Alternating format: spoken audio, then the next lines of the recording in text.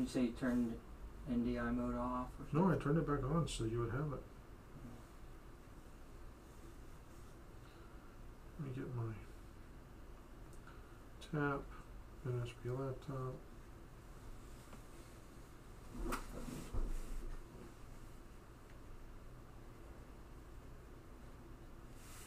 Let me get my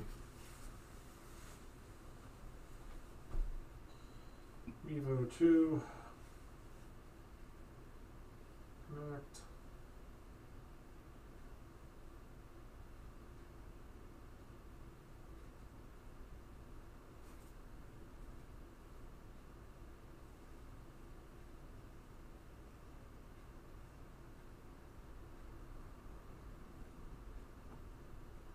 Oh, NDI might have turned it off for some reason. Should have it now. Yep. There's it. No, give me the.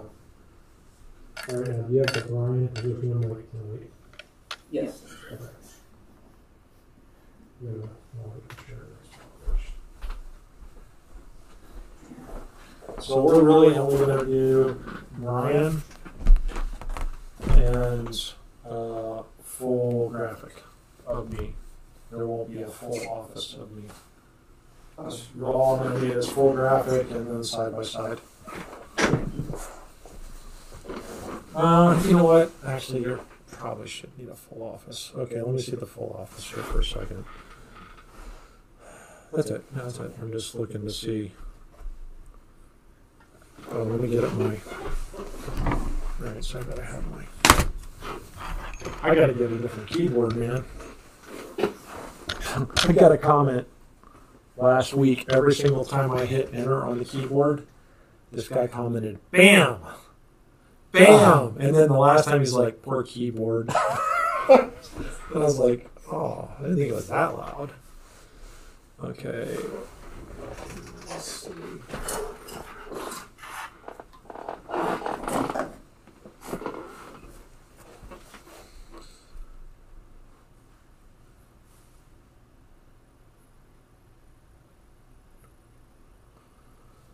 I wonder if I should set up so I can do the app also.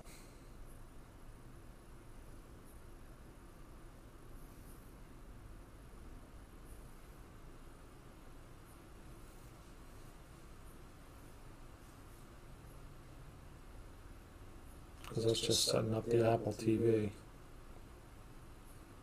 Could just knock out two videos right in a row.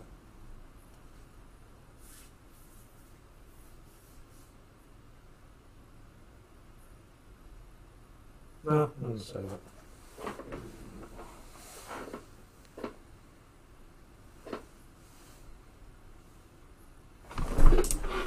I'm gonna have it ready just in case. I might just be grooving and moving and go, let's do it. You know what I mean?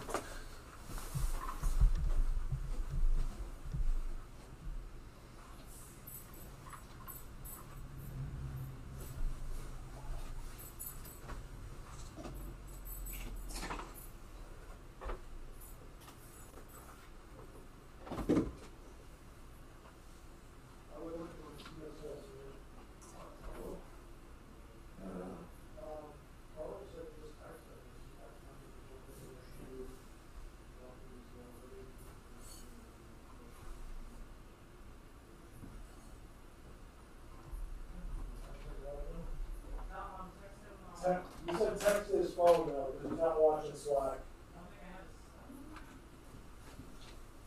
Uh, okay.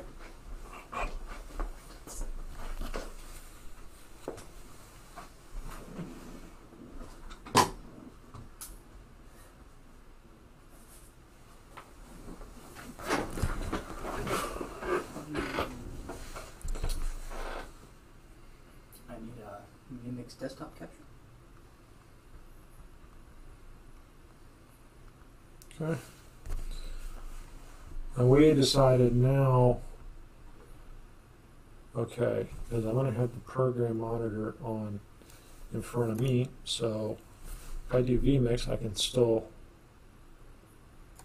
look at the camera until it's not full me. Can you keep this in preview. Yeah, it should be alright. It should be fine.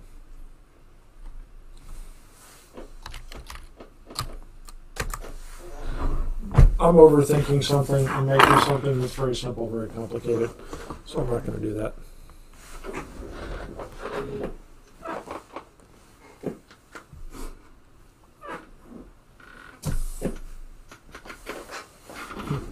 It's amazing how clean an office can look when there's crap everywhere, but they just can't see it.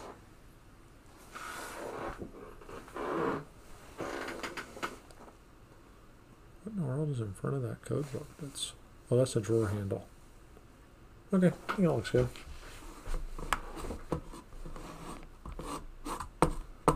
Okay, so this is the only screen I need captured here. Can you get this one okay? Are you uh? I have frame. Desktop capture. I am running it.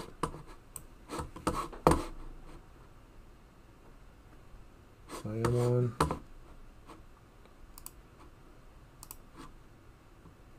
And let me restart it. V mix.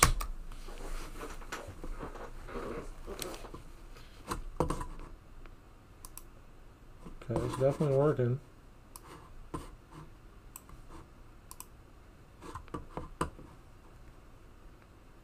Are you in the right network?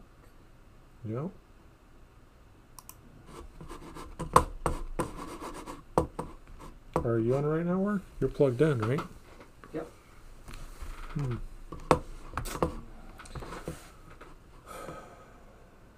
Okay, well, let me just re-download vMix. Plugged in on MHE hotspot. Oh, you're on MHE hotspot? That's not right. Can you turn off your Wi-Fi? MHE hotspot is the I lose TV and stuff.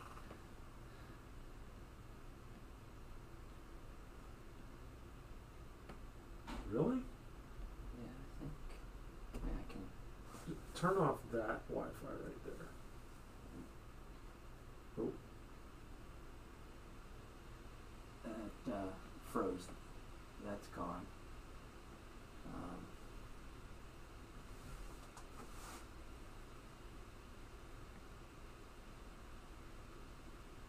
which is maybe okay. Well, you could actually turn the Wi-Fi on and just disconnect from that. Click on that and uncheck connect automatically.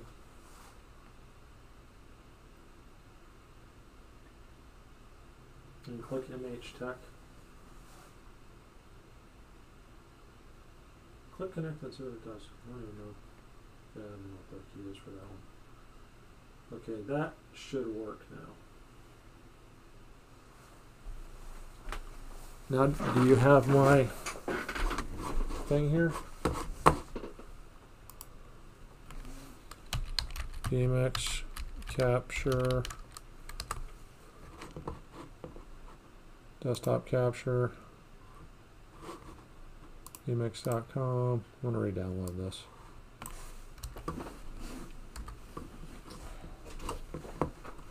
I got to download. Download desktop capture. Download now. Save. Close this.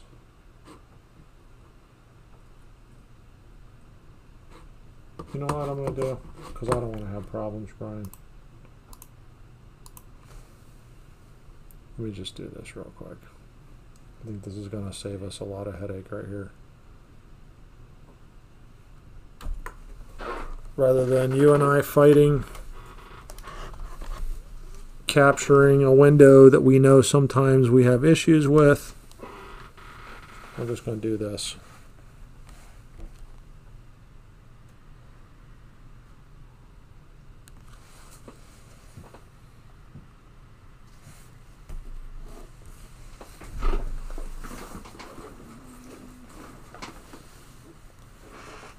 Dan's going to call in, supposedly, and tell me what's on the question stream so I don't have to watch it.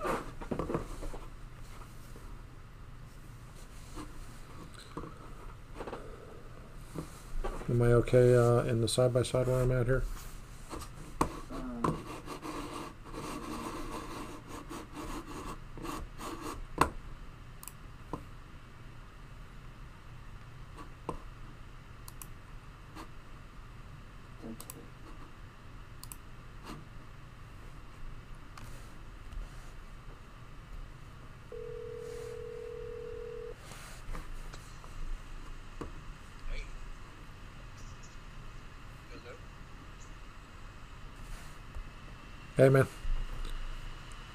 So just mute your phone unless you need to tell me something.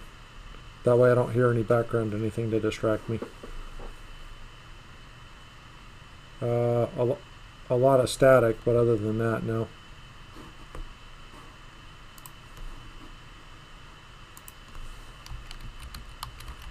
That's perfect.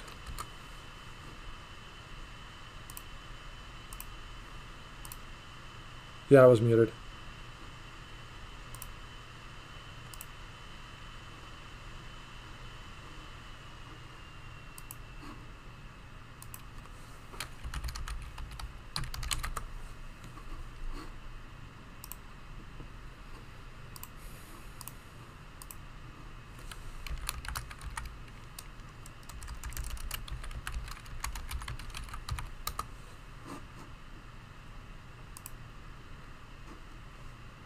Have you got your uh, NDI back and all that now?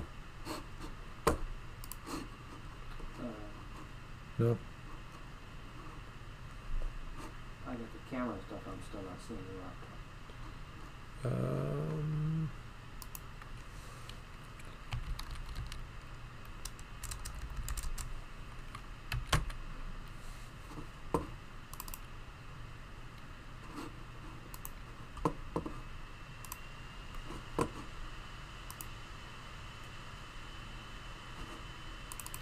there is a brand new, fresh download of it.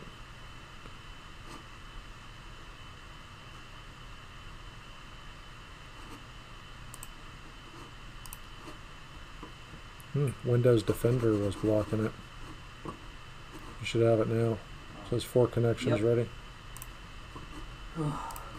Okay, well that's interesting. I don't think I've ever had Windows Defender block vMix before. Uh, let's see, display one.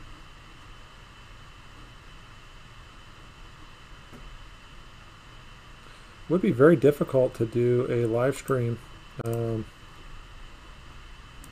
very difficult. We're not doing Instagram, by the way. Okay. Just so you know, I'm not. I'm not streaming this to Instagram. Not for the 13 people that watch on Instagram. I'm talking to Brian Morgan. Yeah, I'll say hey, Dan.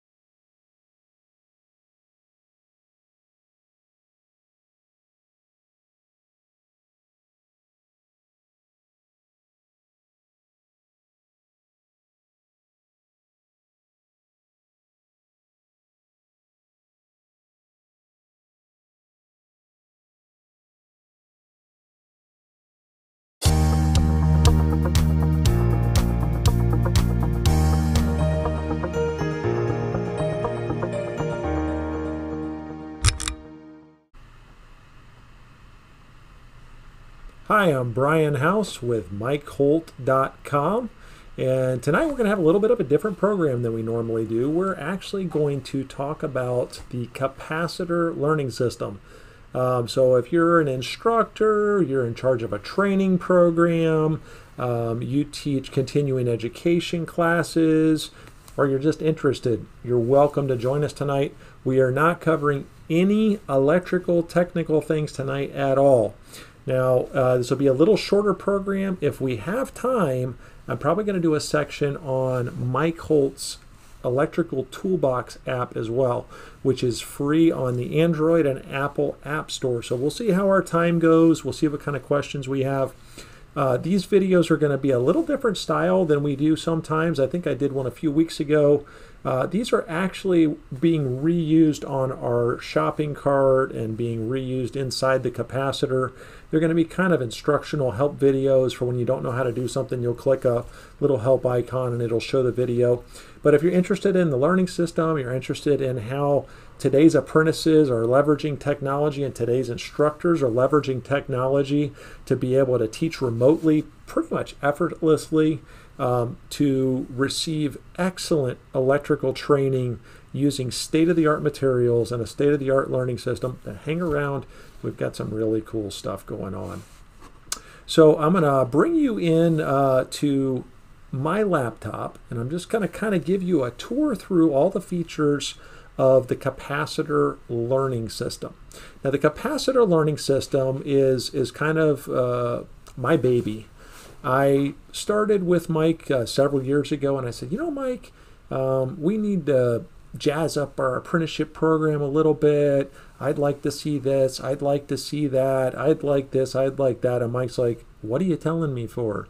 Brian, go take care of it. Take care of business.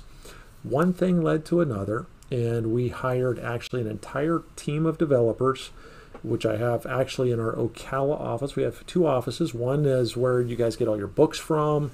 It's all the wonderful people that you talk to on the phone Angela and Jeff and Sean and Eileen and Sherlonda and Kirsten. All the wonderful people where my counterpart Belinda actually runs our sales and fulfillment department. The other office is in Ocala. And here in Ocala, what we do is we write software and we actually produce all of the content that you guys receive. So we produce video content, we produce web content, all that type of stuff. And you know, we're kind of one big happy family, so it doesn't all actually happen in any one place. And of course, Mike is over everything. Except for this. This is kind of like my little secret bat cave. Mike actually, I'm not positive, has ever seen this. Um, maybe once, possibly. Um, it's just been something that over the last three or four years, we've slowly developed in collaboration with our instructors and said, hey, what do you need?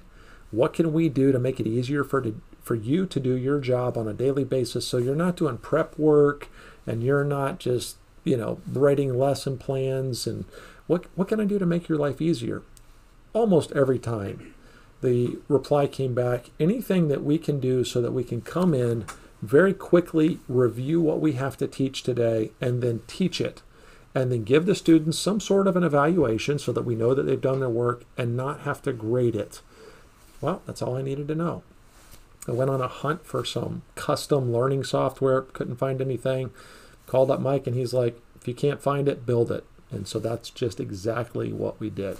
So I'm going to take you on into the capacitor learning system. Be a series of small videos. Um, each one is going to be on each section of the capacitor learning system. Feel free, especially if you're an instructor, to just jump in there, ask questions. Uh, if you have comments or ideas, throw them in there too. We're always open. I've got a great team of guys that work for me. They work on this software almost every single day.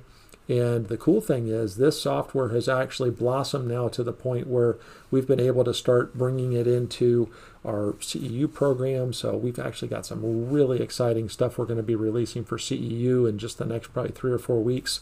Uh, we actually built a live webinar pl- platform that we're actually streaming a live for credit CEU webinar. Let's see, I think that's next Friday and Saturday that we're going to be doing that.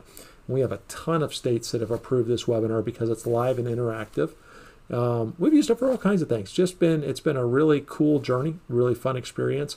My background, I actually went to college as a CIS major and uh, started actually I wrote my first computer program when I was 13 did a lot of industrial computer programming and so this kind of came second nature to me to kind of manage this group of guys to develop this so uh, let's get started let's dig into it so if you take a look at my laptop screen right here this is the first screen that you're going to see when you log into the capacitor and it's pretty simple what we try to do is we try to keep everything just one or two clicks you'll notice right over here on the left hand side of the screen is our code graphic of the day. And what I've recognized as time has gone on is that half of the battle as an instructor is being able to get the students engaged with the class at the beginning. Once you've engaged the students with the class, keep them engaged. And at the end of the class, have a way that you can evaluate what they've learned. And so we thought, well, let's ask the instructors, hey, what's your favorite way to start the class? And we got some cool feedback, but a lot of instructors said, hey, you know, we start our class every single day with the code graphic of the day and the code question of the day because it just kind of brings everybody's focus from work right into class. And I was like, that's a great idea. And we already have it. So you'll look at my laptop screen here, you'll see that the first thing that we have is a code graphic of the day. And if you click that, it actually is just going to take us to the website. It's going to give you the opportunity to look at the code graphic, discuss it in class, and then, of course, you can answer the code quiz of the day. So, that said, we're going to go back to the capacitor here. And the next thing that you're going to see on the capacitor is the Classes tab. Now, I am logged in as an instructor, and this is just a demo account. So you can see I have 104 students enrolled. I have four instructors enrolled. And if I was to look at my profile information, I would see my name and my user ID. I could look at all the information about my institution, which is a demo institution, and how many active students I have. And finally, when I'm ready to log out, I can log out here. We have a little message icon right up here, and I'll talk about that a little bit later, but uh, we're going to start out in the Classes tab. So here's the Classes tab. It, the classes tab is exactly what it sounds like, and every one of our tabs are, are built the same way. And this tab is actually where, as the instructor, I manage the creation and modification of classes. And you can see I've got quite a few classes in here of just all different things. But we're going to actually start out by creating a new class. So when I create a new class, we have what we call builders. And all of the builders are going to be basically the same. They're going to step you through the process that it takes to do whatever you're doing. So in this case, I have a class builder. So this is going to be Brian's new class. And I'm going to pick, um, I'm going to pick a demo instructor. I could pick a location if I had a student location. So let's say I had multiple branches, I would pick a location. Uh, we have a syllabus option if you're doing a, a, certain particular type of a program. I'm not going to go into detail on that. If you're interested in the uh, demo or the uh, syllabus option, you can contact our office. You can email apprenticeship at mikeholt.com and we'll set up a, a demo schedule for you so that you can kind of get into some of the details. The most important thing I have to do before I save this is I've got to pick a start date, which I'm going to just pick today's date. And I've got to pick an end on date. I'm going to pick the end of the week for this class. And it's important to do that because the students have access between the begin on date and the end on date.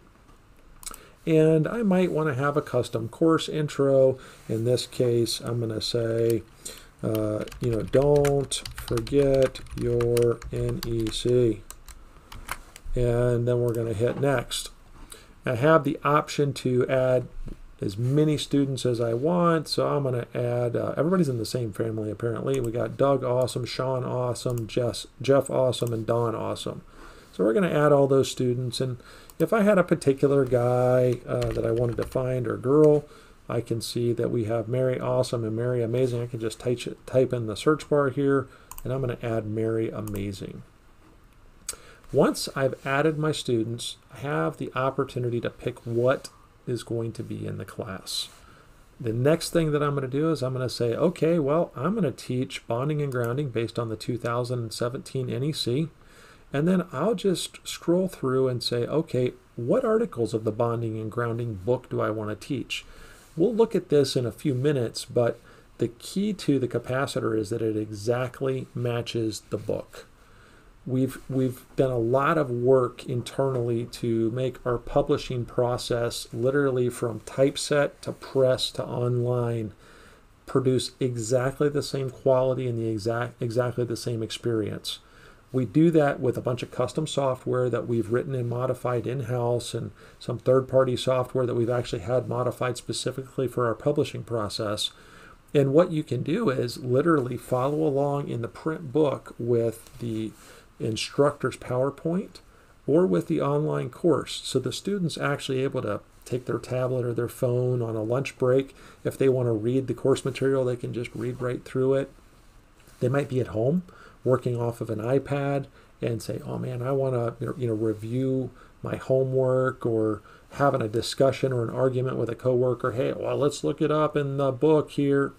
So we've tried very hard to do that. So in order to kind of make it easier to use, if you look at my screen here, you'll see that we actually have these books split up by the code article.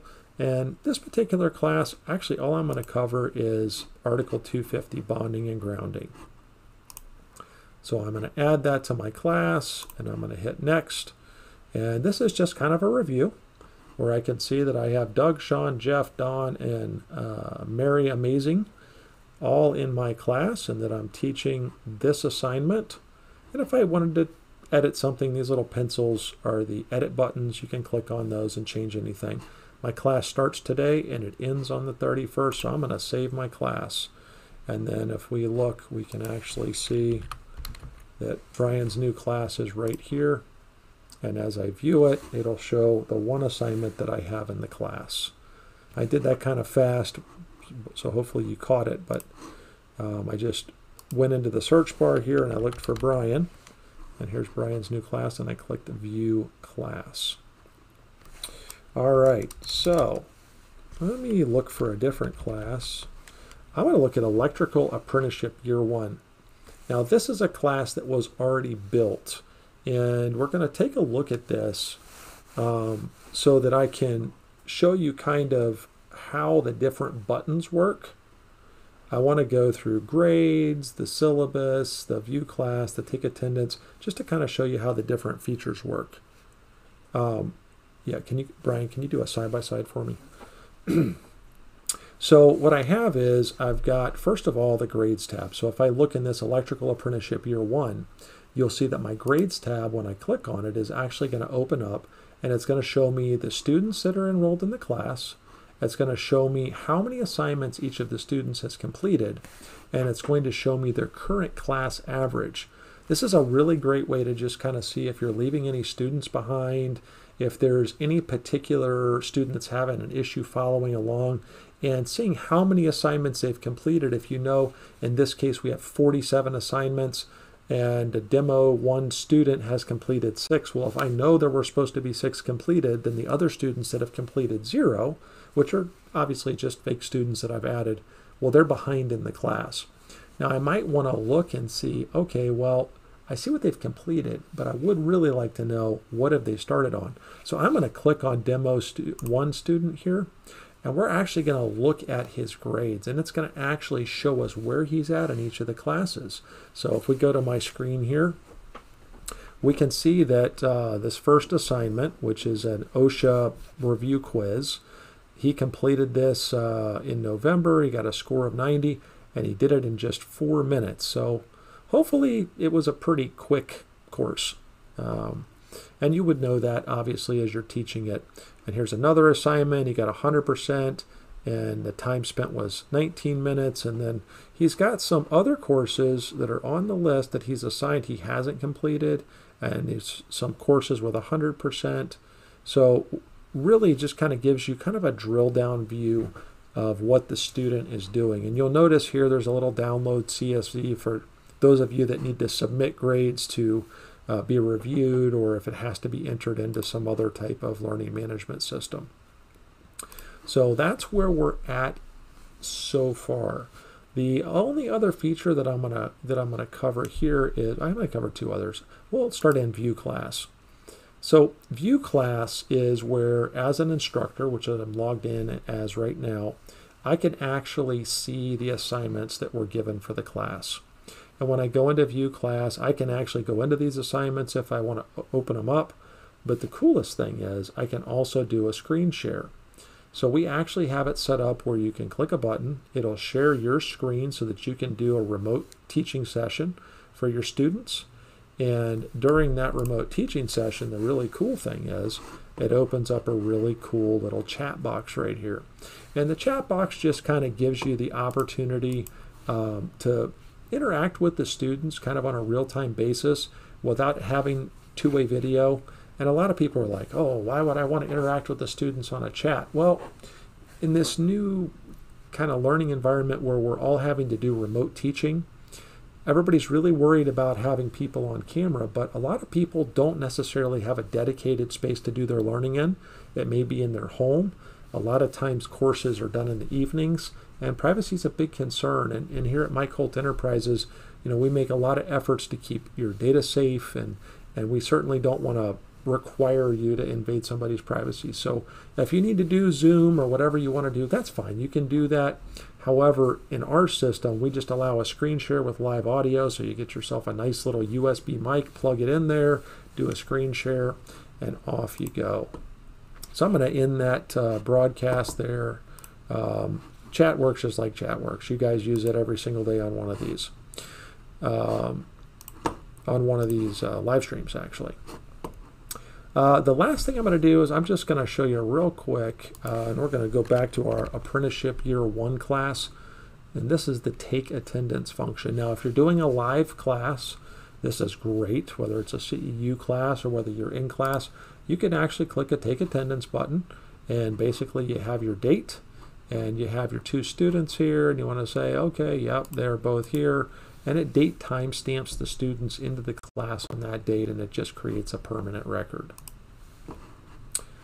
and let's go ahead and move down if we go to my screen here to students now, before I move on to students, um, have we got any questions that have come in so far?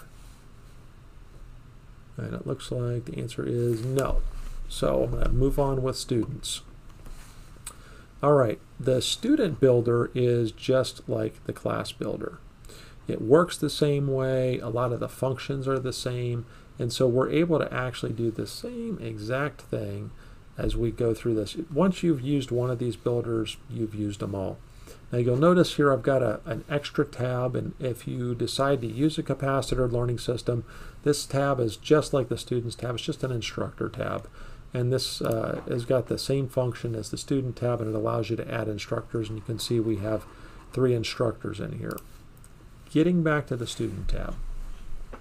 The student tab has the same builder, uh, so we'll just start at the top here to add a new student and it's really just fill in the blank. It steps you through everything, and at the end of the process, this little checkbox right here, as long as it's checked, it actually emails the student a temporary password, and the student's able to click that and log into their account for the first time and reset their password.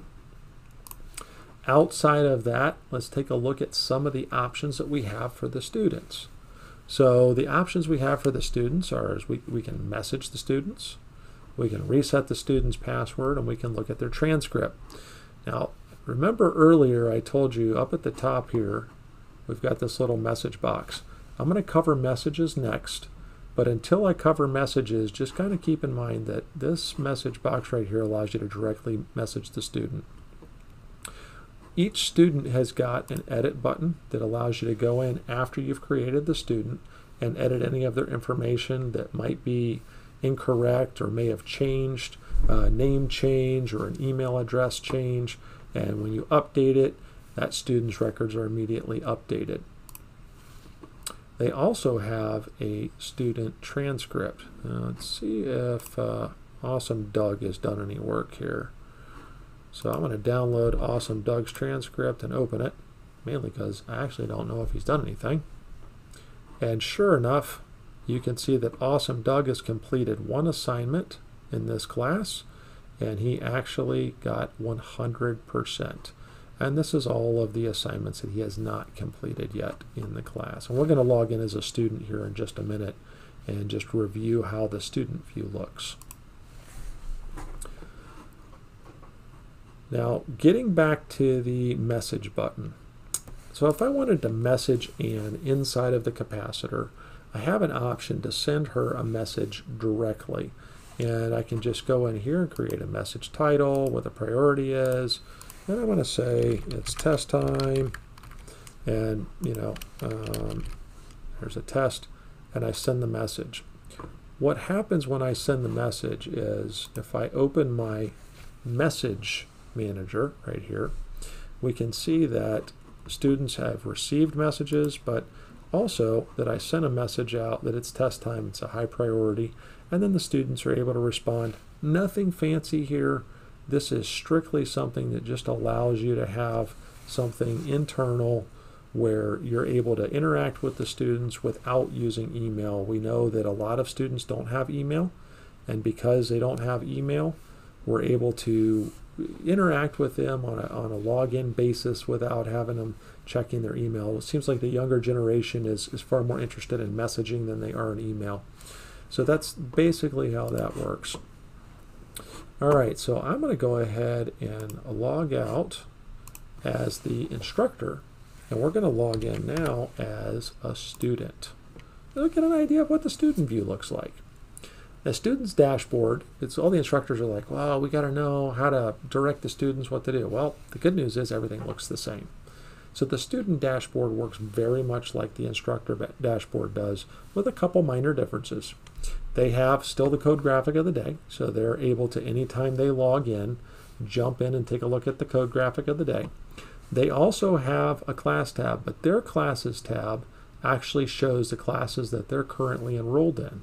And they're able to jump between classes if you're a school that has multiple classes for the same student.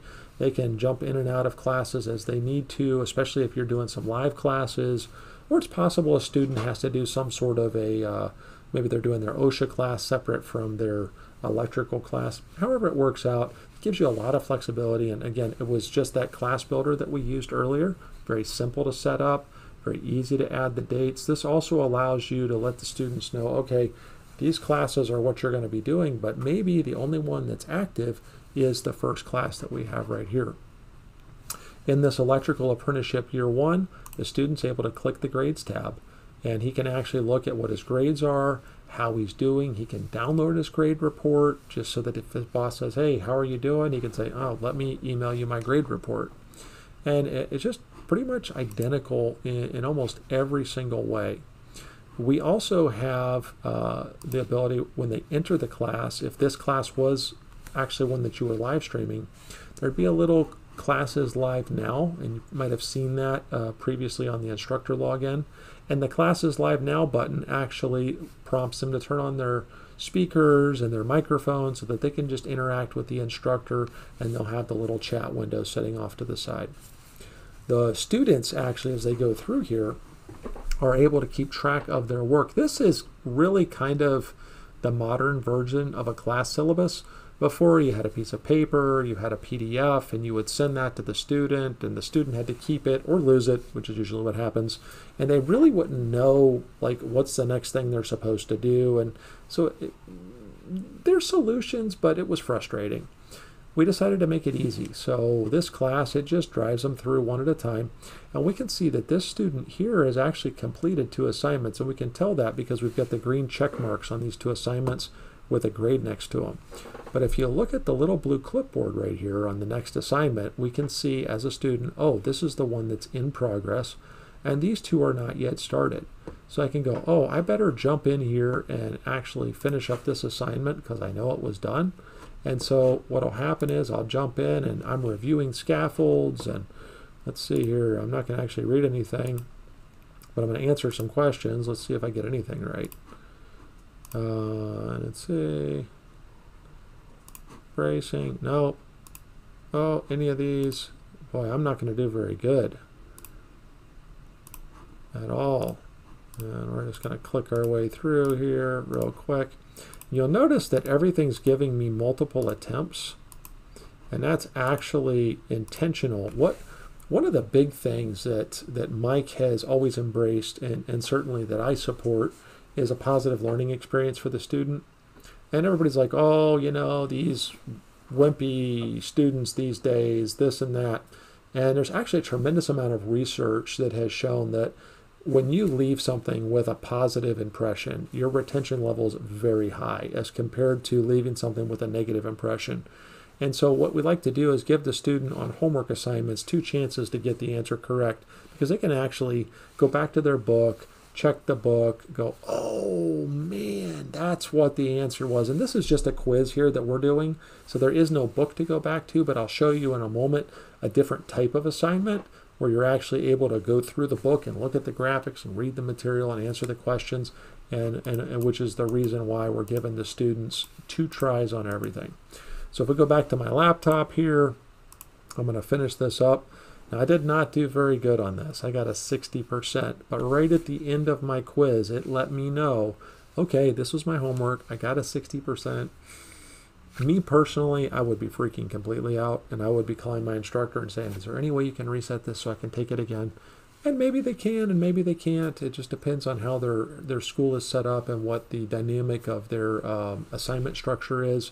But, you know, I'm one that even if I got a 60% once, it would be the last one of the year because if I know I had two chances and I got a question wrong, I'm not making my second try until I know I have the right answer.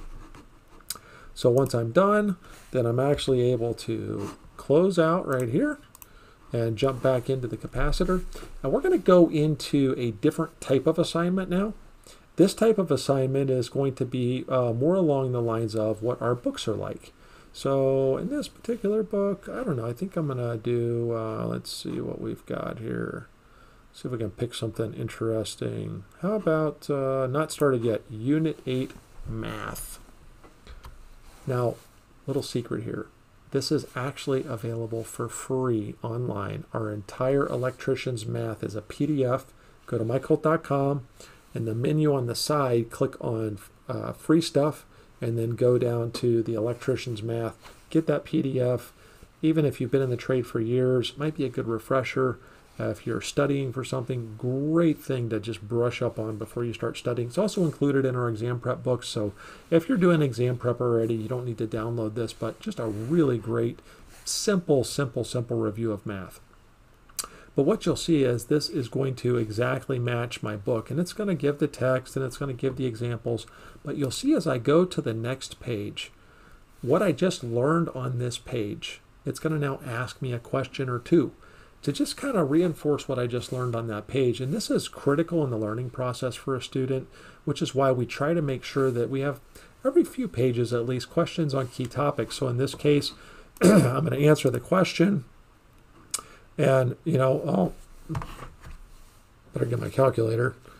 So uh, let's see, 4 eighteenths, 4 divided by 18 equals, okay, and I'm going to finish that baby up. takes me to the next page. On the next page, you'll see that we actually have a graphic. And the text and the graphics are going to exactly match the physical textbook.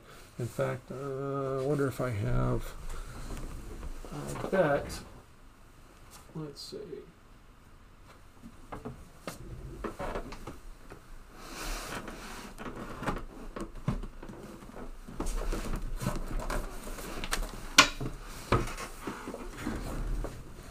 if I was a little more prepared, I would have already had this book, and you just missed me digging around in my cabinet trying to pull this out real quick.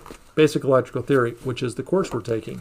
So this is Unit 8, so I'm going to go in the book to Unit 8, and I bet 6, 7, 8.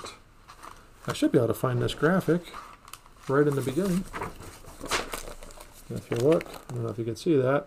There it is right there, right in the beginning of the book. So the graphics, the text, everything's going to exactly match.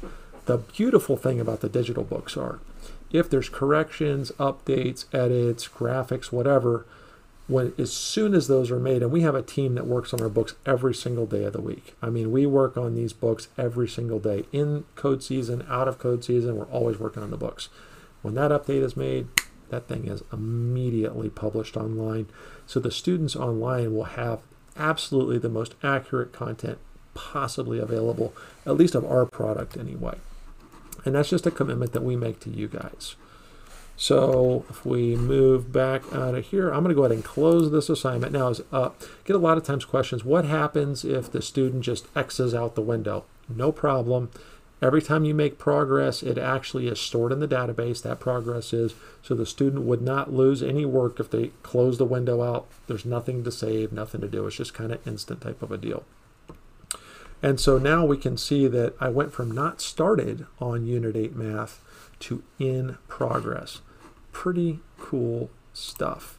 So I'm going to kind of go back here and on the classes tab, there's another tab that's called completed.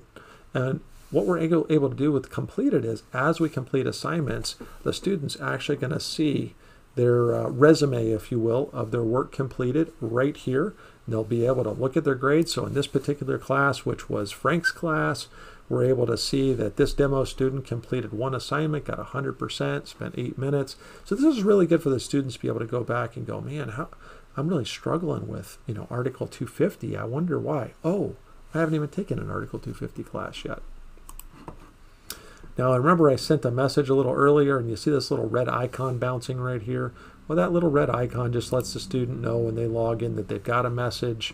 And you can see there's all kinds of messages in here. And we just sent some stuff just to have the icon bouncing, to be totally honest with you. And of course, the last thing is the calendar and events. And we're able to actually enter notes for the student, test dates, uh, job fair days. It's a typical calendar feature, but it's just stuff that's pertinent to the student and pertinent to the class that the student is in maybe that's uh, unrelated to the rest of their life. So when they're in class, you want to be able to have access to the important class details.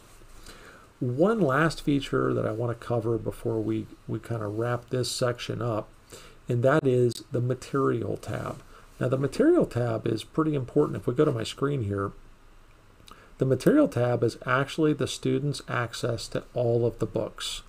And what they're able to do is browse the books. This is really the student's favorite spot to go. This is where they go when they're on a job site and they have a question. They just grab their phone. And by the way, all of this is completely mobile friendly, so the student's able to use it on a phone if they need to. Print gets a little small, to be honest with you, but and the pictures are a little small, but you can pinch zoom. It works really well. But they're able to go in here, and if their school has uh, purchased the videos to go along with the books, they can actually watch the Holt videos right here, like all of them, right on the capacitor. Uh, they have access to the books right here, and they get literally, it's the same thing that we just saw. But uh, for instance, oh, I don't know, let me look at uh, Article 90 here. It's going to be without questions. So the student's able to go through here real quick and go, man, I want to see, uh, I know a couple pages in here. Oh yeah, adequacy. I was curious about 90.1. So they're able to just kind of go through that. And if it was on a mobile device and I could swipe, it's a little more intuitive. But um, just really great to have immediate access to that. And then uh, finally, if there's practice questions that are available for the students, they're able to do those here. And then uh, obviously, as exams are assigned, they're here for review as well. So that is the materials tab. So I'm going to just pause for a second here before we start the next segment and uh, do we have any questions? I know I've got uh, Dan, uh, one of our stream moderators. Dan, do we got any? Do we have any questions? Oh, outstanding! We got some questions. All right.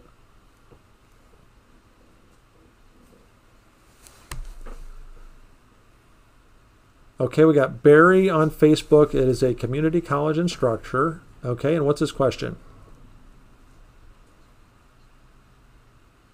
Oh, okay. Um, question is if you're interested in the capacitor, who do you contact? Mm, that is a great question. I probably should have said that.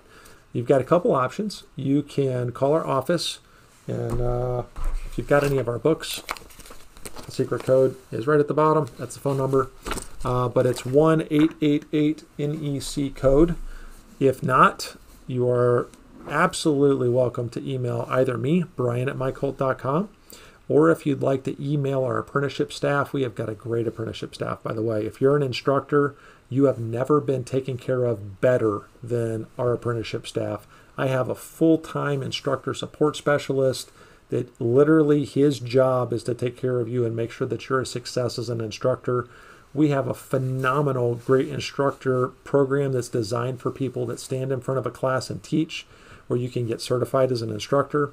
And uh, we've got a great sales staff too. I mean, your sales support, Sean is amazing, just amazing guy.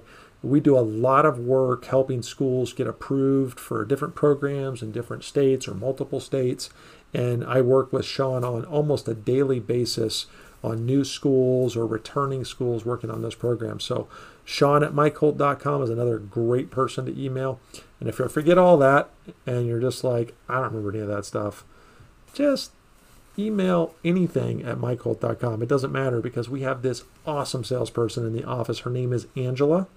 And Angela gets all those emails and she's going to call me and say, Hey, you got some crazy guy that emailed some crazy address at mikeholt.com. What do I do with this? And then we'll send your email. But uh, so Brian at mikeholt.com or apprenticeship at mikeholt.com, either one of those, uh, great way to get in contact, and then we'll get you taken care of right away. Uh, what else have we got, Dan? Okay, I'm going to love this one.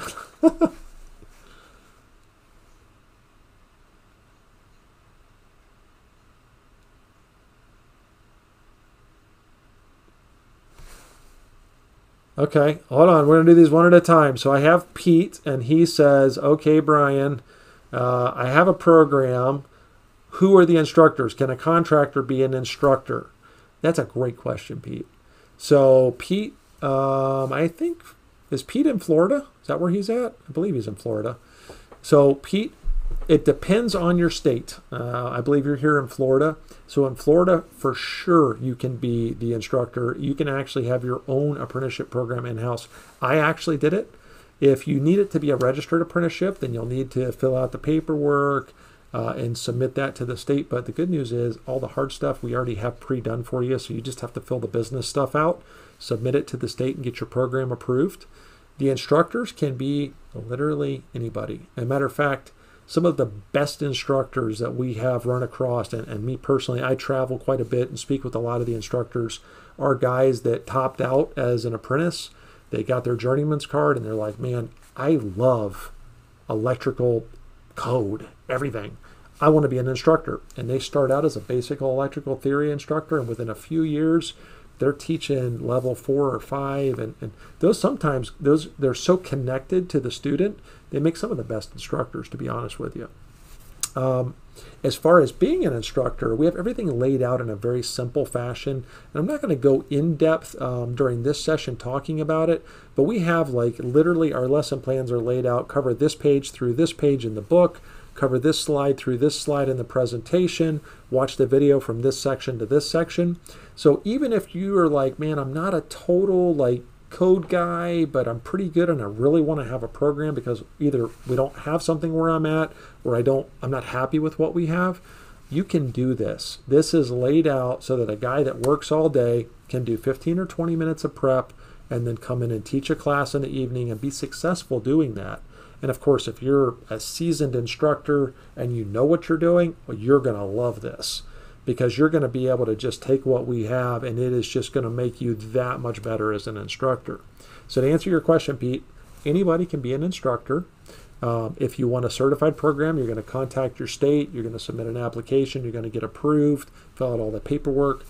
If you're doing it in house and you just want to train your guys, which I highly recommend, if you have employees and you're in the electrical industry, education is key. And sometimes you can just start out with a theory book get your guys all a theory book. You got four or five guys and you want to just do theory together, do it together. It doesn't even have to be like you stand in front of a class and have a projector. Although, to be honest with you, that's a really great format to teach in. Sometimes, and I did this many times, we all sat around the work table, we had our books out, and we would watch a video or we would have a discussion or even just read through the book together and then do the assignments. So anybody can be an instructor. All right, now Dan, there was another part to that question. What was the second part of that question?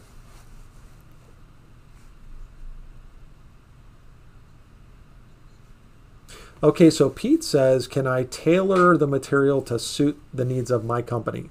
So Pete, that is 100% what you do.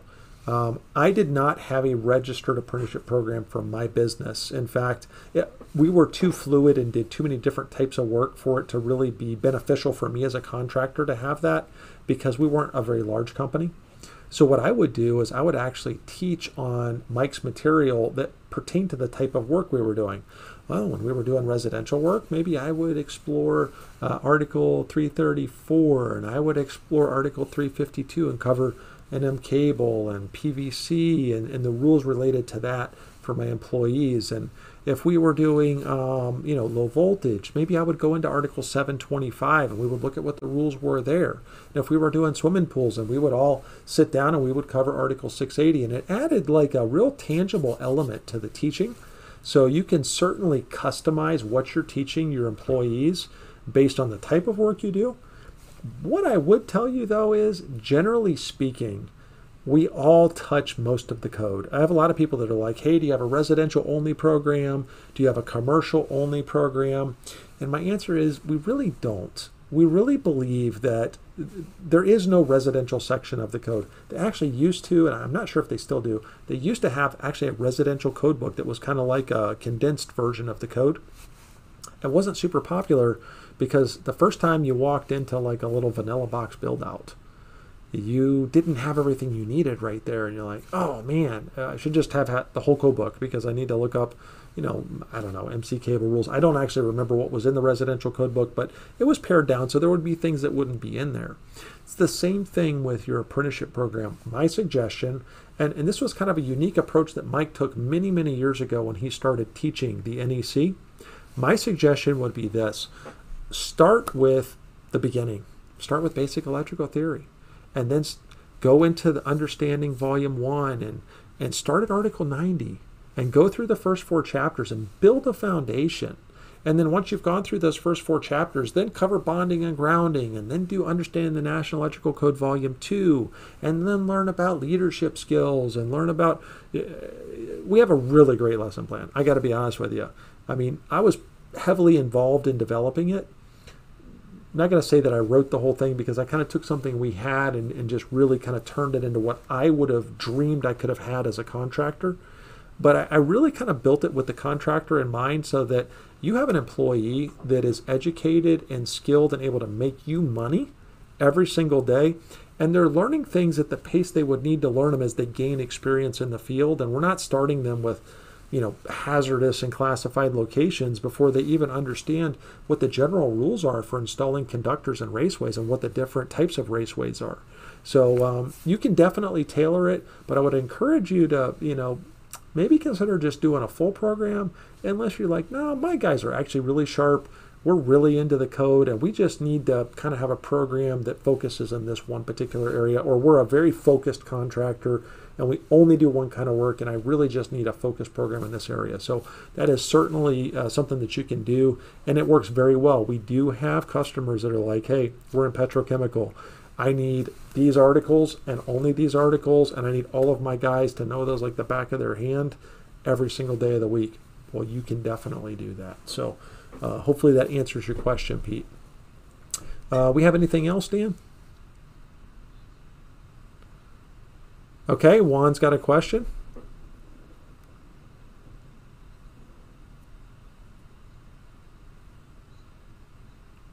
Okay, is the platform good for CEUs? So that's a loaded question, right? So, yes, Juan, we do have CEU instructors that use the capacitor. Um, if you're interested in that, I would encourage you to contact me directly, Brian at MikeHolt.com. Um, we've got some unique challenges that CEU instructors face, and we've got some unique features to help you do that. One thing to keep in mind as a CEU instructor is the only material that's available on our platform is Mike Holt materials or materials that we have approved to be included as part of our apprenticeship program. So if you have a CEU program that has a particular requirement for a certain state and it's not something that we already have included, you wouldn't be able to include that in the platform. So uh, I'm going to kind of give you a maybe answer on is it good for CEUs? And the answer is it could be. Uh, it would just depend on how your program is designed and, and what the content of the program needs to be. So, is that uh, is that all we got, Dan? All right, so we're gonna do. I hope you guys enjoyed that. I kind of had a good time myself.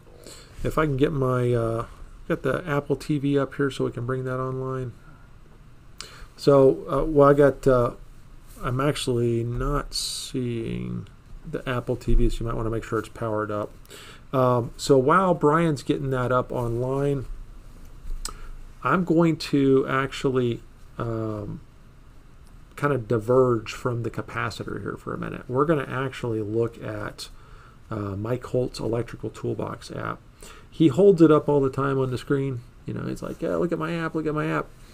This is really cool, guys. I I have actually no I don't even mind pushing it because it's free. We'd actually we've spent a lot of money developing this app. We actually originally partnered with somebody that had an app um, that was actually not bad. It was not a bad app. Um, but Mike is is just man, he has just a wealth of knowledge, and he looked at this app and he's like, man, this is good, but we can make it a lot better. And so what we were able to do is just um, focus on getting this app useful. And looks like we are having technical difficulty here. So we may have to take uh, 60 seconds or, or so for me to, let's see here. Okay, well, I'll tell you what I'm going to do. Uh, Brian, you want to grab my iPad and I'll do the demo off my iPad right there. For whatever reason, it's not happy with my phone. So we're going to do it off the iPad. No big deal.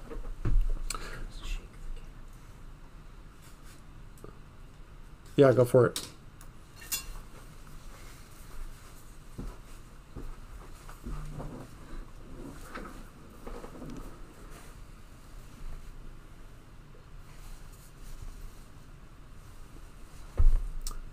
Okay, that was a long question. And I'm sorry I, I didn't have a way to bring Dan on. Dan's one of our moderators on the YouTube and the Facebook, and he actually is a consultant that works for us pretty much full time, to be honest with you, on the books and the videos. And great guy, just absolutely love him. And but I couldn't pipe him in tonight, uh, so he's just kind of in my AirPod.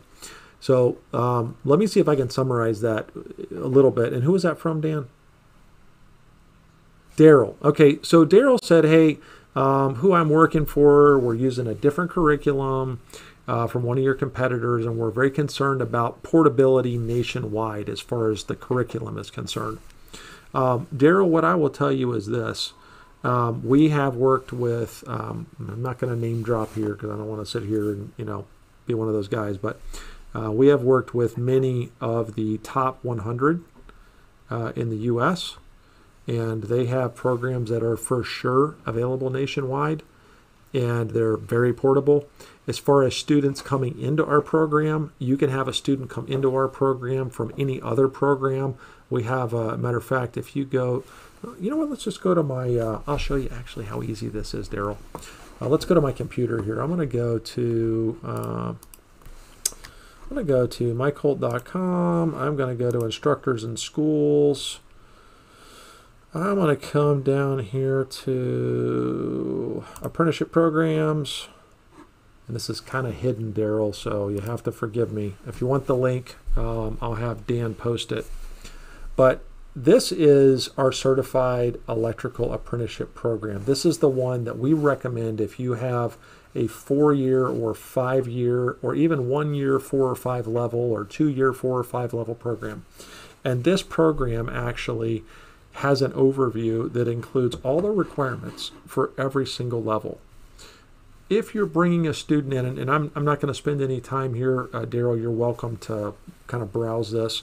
But if you want to read right down here, what we actually do is we show you what the prerequisite would be for a student to, they call it testing out, but really just coming in from a different program into our program we basically recommend that you get them the books from the previous years. So if somebody, let's say a student comes in as level two, we recommend that you get them the level one books so they have those to study with. Um, but also, in addition to the level one books, we we just recommend you let them come in where they're at. Look, some of these guys, they've been in the trade already for five years. They did their time. They already spent an entire year in an apprenticeship program. They're coming in, they're expecting to be level two. They probably learned some stuff, and even if they didn't, it's not the end of the world. They can study and catch up anything that's a gap between the two programs. And because our program is so linear, and because all of our books are very linear, we don't jump all over the place. We're very much from beginning to end on every single thing. That's how Mike works. And, I love that actually because you always know where you're at and you know where you're going. And so they're able to come into the program, they're able to begin wherever you're at, level two, level three. And then they have the other materials to study and they have the other materials to reference and review from. And we encourage the students, we just say, hey, listen, do yourself a favor and just kind of go back and do some of the assignments on areas that you know you're not strong in.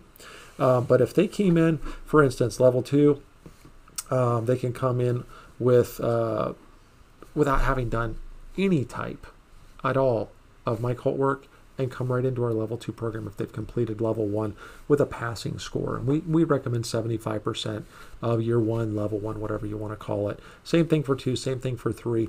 Now, we don't have, um, and I don't believe it's a, it's a good practice to let somebody just come into an apprenticeship program and test out as an apprentice. I, I haven't figured out why you would want to do that.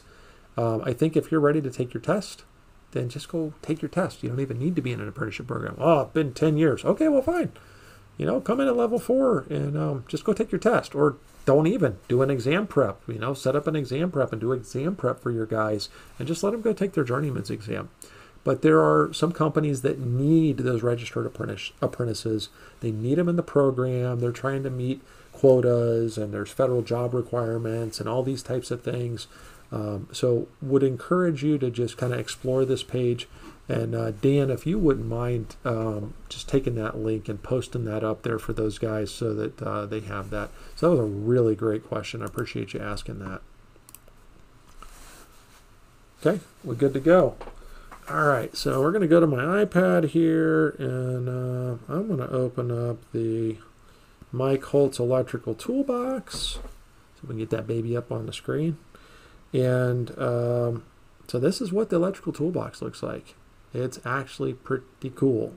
And I'm just going to run through, I'm just going to run through real quick the um, six different applications that are in the toolbox. I'm not going to spend a lot of time. I'll catch questions on the backside. I will tell you this. I encourage you, if you download the toolbox, um, watch the little ads that are in the toolbox. We run some really good uh, discounts in the electrical toolbox that we don't really run anywhere else. So if you download it, just kind of keep an eye on the ads in there. They're not in there all the time, but when they are in there, they're usually pretty good ones. So let's go to the iPad here and let's check it out. So we're going to start out top left-hand corner with circuit calculations. And we've got a little circuit sizer here. And we'll just do a commercial circuit sizer. And uh, I don't know, I'm going to pick out a uh, 480 volt circuit, single phase. It's going to be a branch circuit. And I'm going to select a uh, I don't know, 50 amp breaker. And I hit go. And just like all of the functions on our calculator, let's see if I can turn this sideways and make it a little bigger. Nope, not going to work. So we've got uh, a little limitation because I'm broadcasting that I can't do this in uh, landscape mode, but in landscape mode it would make the text a little bigger.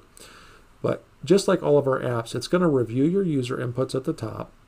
It's going to then give you results. In this case, it's a circuit sizer, so it's going to give you results in copper and results in aluminum. So we have a 50 amp circuit with 8 gauge wire. It tells me how big my uh, equipment grounding conductor needs to be. It tells me my maximum circuit length, raceway size, maximum continuous circuit load in both amps and VA.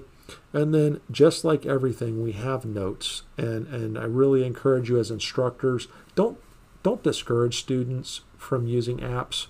I would encourage you to encourage students to use the apps. In fact, you should teach the students how to use the apps in class so they know what an app is good for and what an app is not good for. And an app is not good for studying for an exam. But an app is really good in real life and it make you a hero on the job site, to be totally honest with you.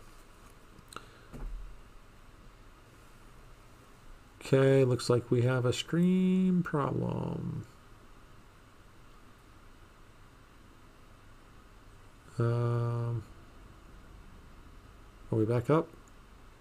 I don't see any problem on my end.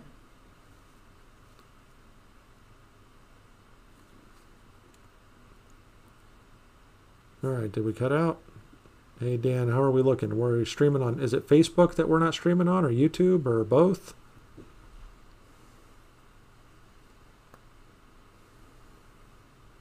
Okay, well, I guess I'm talking to nobody. Let me.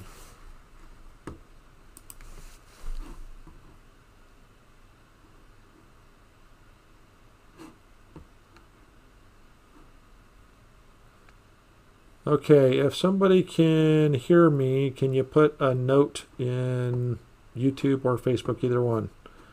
So I have some people telling me that we're not streaming for some reason.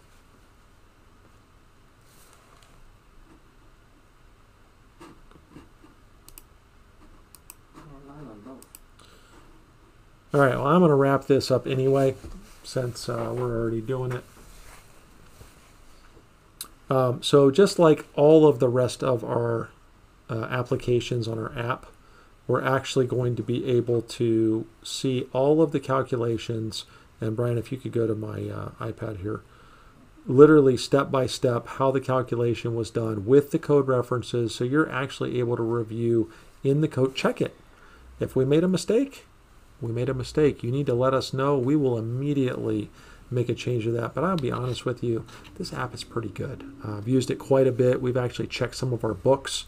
Uh, I've been pretty pretty impressed actually with how well it worked. And again, we worked with some really great people when we first started this, and now uh, we actually have expanded it tremendously in house. All right, so we're going to move on to the next application, and that is going to be a cooling calculation. So uh, I'm going to do a commercial air conditioner. And again, guys, download the app. Just go to your app store. That's one of the number one questions I'm get. Like, how do I get the app? Um, just go go to your app store, Android or Apple. Doesn't matter which one. Just go to your app store. Go to mm, um, Mike Holt. Just put in Mike Holt. It's Mike Holt's Electrical Toolbox is what it's called. But just put in Mike Holt. It usually come right up, and you should be able to download it. Again, it's totally free, and you might even want to do it right now while I'm doing this, so you can kind of play with it while I'm doing the video. So if we go back to my iPad here, we're going to do a commercial air conditioning calculation. And we're just going to select a system voltage. And you know what? We're doing three phase 480. We might as well do four, three phase 480. We did a single phase, and I'm going to pick a. Uh, I want to pick 50 amps again. And uh, nameplate maximum overcurrent protection, nameplate minimum circuit ampacity. I'm going to put uh, 29, and I'm going to do a calculation. And now what it's going to do, it's going to review my user inputs. It's actually going to tell me my protection size, which we entered it, so we already kind of knew that. It's going to tell me conductor size and equipment grounding conductor size and raceway size and maximum circuit length. And again, all of the notes that are going to explain how the calculation was done, the steps that were used. Now, this one's interesting. Some of our calculators have additional resources. This particular one, I'm not gonna I'm not gonna click on it, but it's got a video air conditioner circuit sizing. And I'm sure you open that up, and that's going to be Mike and, and, a code of experts or a panel of uh, code experts talking about sizing an air conditioner. And then again, application notes. Now, one thing, and I don't think I have my email set up on here. Let's see if I can email this baby, and I don't. You can save these calculations, but you can also um, email the calculations. And if I had mail set up on here, then I would be able to email it. The cool thing about that is if you have an inspector that's questioning something and you're like, man, I know I did it right, you run the calculation on here, verify that you did the work right, obviously. You can click the email button and it'll use your mail app, uh, which on my phone it would have worked. On my iPad, I don't have my email set up. Uh, you can mail it to your um, inspector and say, hey, listen, I just did this calculation on this app and my wire size matches, my raceway size matches, my breaker matches. All right, so that was cooling calculation. All right, let's go back to my iPad here. Let's listen.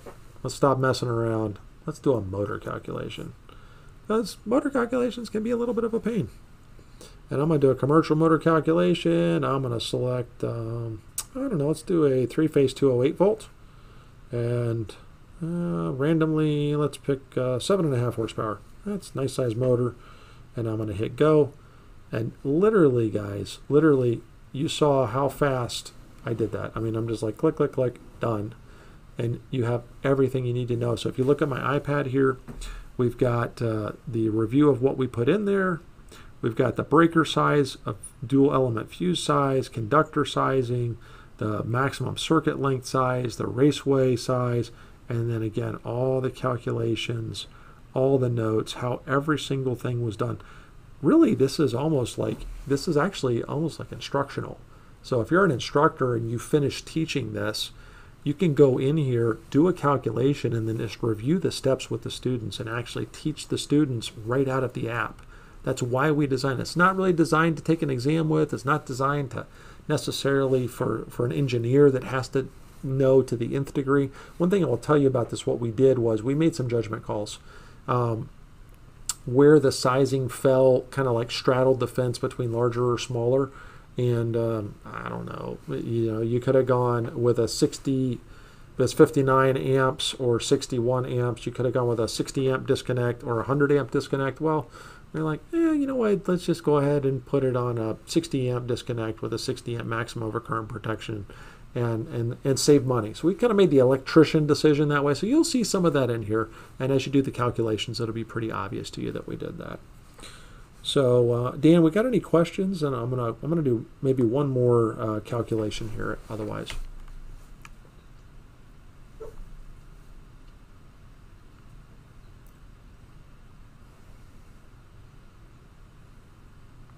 Okay, so Trog is is uh, asking about the service load calculations, I believe, uh, over on YouTube. I wasn't actually going to cover that, but since you asked, I'm going to cover it. So here is, uh, let me go back here. I clicked on service load calculations. And we're going to run through this. This one will take a little bit longer. And, and the question comes up is this optional or standard? This particular version of the app is the optional, or I'm sorry, the standard calculation. And we're actually going to be releasing shortly a version of the app that'll have the optional calculation, primarily because the calculation usually comes out much lower on optional. So that's actually the one you usually want to use. But I click on general information and I can type in the size of my dwelling. In this case, it's already 2,500 square feet. I have two small appliance circuits and one laundry circuit, so I'm going to move on from there. And I'm going to go to my household appliances. And you can see in here, I've got some household appliances selected. And we're not going to, you guys can sit here and experiment with this. I'm not going to spend a lot of time here. Um, but cooling and heating. So Trog was like, hey, um, can you do it for heat pumps? So what I'm going to do is I'm going to go into AC condenser 1 and I'm going to have uh, one unit and AC fan one and I'm just going to leave everything default. I'm not going to change anything. And I'm going to have heating load. I'm going to have one unit and the default's uh, 9.6 kW. And then I'm going to have heating fan one. I'm just going to go ahead and so I have a basically I have your typical um, in Florida, we call it a heat pump setup, where you have a heat pump with some emergency heat. Might be a little excessive on the emergency heat at 9.6 kW, but we're going to roll with it because that's what the default is. And then if we go back to the app here, you'll see the last option is do the cooling and heating run concurrently, and I just check the box. I click OK, and then I click my little green finish arrow, and it reviews all of my user inputs at the top here it's going to actually give me conductor sizes for my service conductors. And again, we get down to the calculations portion. And again, I'm not going to spend a lot of time reviewing these, but it's going to give you literally every single calculation down to the nth degree and tell you how everything was calculated, why it was calculated, the notes on each of the steps on things that you might want to reference in the NEC and, and where the numbers came from. And this is really just kind of like an awesome review of load calculations. If you're, it's not something that you're doing every day, it's good to kind of remember that and uh, just kind of kind of get you back on track for where you're going with that. So thanks for the question, Trog. So I was actually not going to cover that one, but glad that I did. I'm glad you asked the question. And uh, well, only leaves one left. That's transformer calculations. So I'm going to cover transformer calculations next on the app.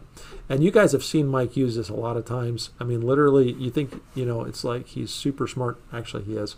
But you think he's super smart and doing this stuff really fast. It's not. The app is just so simple to use. So if we go to my iPad here, we're going to pick a transformer. It's a three phase transformer with a primary of, I'm going to pick a 480 volt primary. I'm going to pick a 12208 volt secondary, pretty common transformer.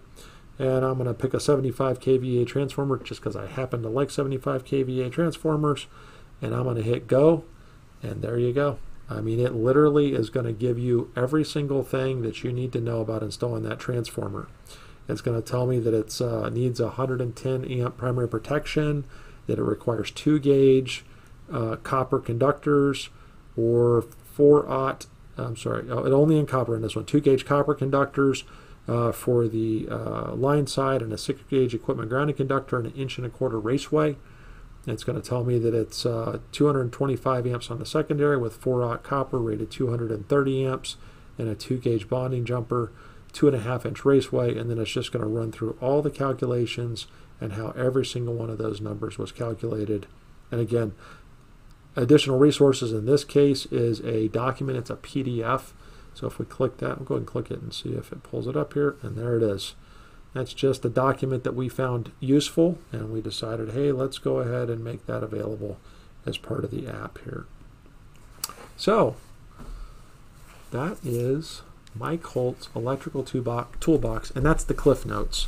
Now, if you watch the videos, you're going to see us use this toolbox app a lot. And as we use it, believe it or not, we, we get feedback and we find out more and more things that need to be tweaked or that people might want to have added. And I would just encourage you to use it, submit feedback to us, let us know what you like about it, let us know what you don't like about it. Again, we're working on all of our software every day, and uh, it's definitely something that we would love to hear from you guys on. So, Dan, do we have any final questions before we wrap it up for the night?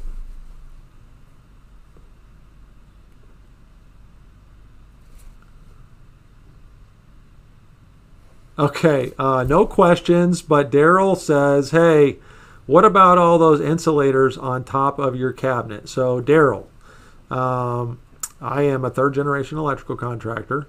And uh, when I got my electrical contracting license, I don't know, it's probably close to 20 years ago at this point.